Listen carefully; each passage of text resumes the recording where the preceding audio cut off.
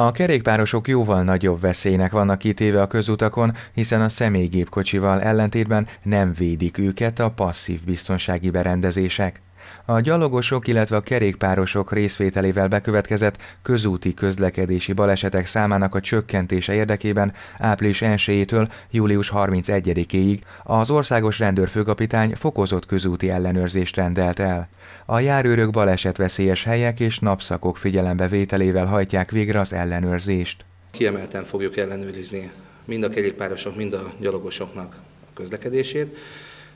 És amit, amit kiemelten kell, hogy ellenőrizzünk, ez az ittasság, ugyanis sajnos azt tapasztaljuk, hogy mind a kerékpárosok, mind a gyalogosok által, illetve sérelmükre elkövetett balesetek esetében az ittasság jelentős szerepet játszik.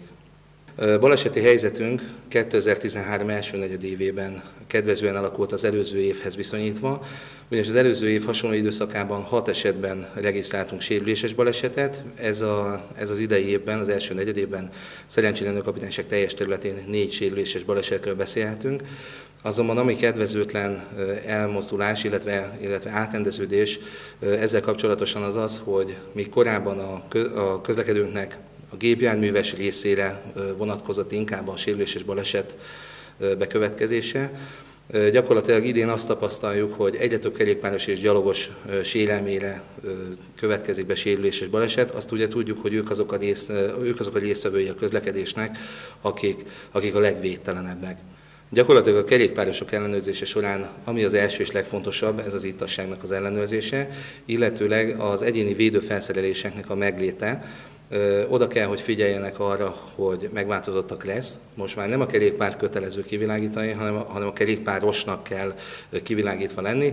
Hogyha ez a világító eszköz a kerékpáron van, azt is elfogadjuk, illetve hogyha, hogyha maga a kerékpáros egy fejlámpát visel, illetőleg, illetőleg láthatósági mellényt visel, akkor, akkor ezt el fogjuk fogadni. Minden esetben szem előtt kell tartani, hogy a megfelelő láthatóság meglegyen, mivel ugye ezzel tudjuk elkerülni a baleseteiket.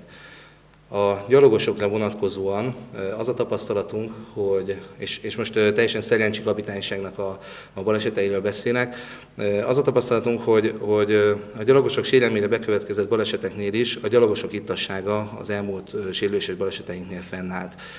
Tehát én arra szeretném kérni a gyalogosokat és a kerékpárosokat is, hogy amennyiben fogyasztanak alkoholt, akkor a kerékpáros már ne üljön föl a kerékpárra, tolja haza ezt a, ezt a kerékpárt, vagy hagyja ott és majd visszamegy érte. Illetve a gyalogosok figyeljenek oda, hogy attól, hogy, hogy ők fogyasztottak alkoholt, és kicsit talán jobban érzik magukat, mint, mint szükséges lenne, attól, attól rájuk ugyanúgy vonatkoznak a, a Kressznek a szabályai.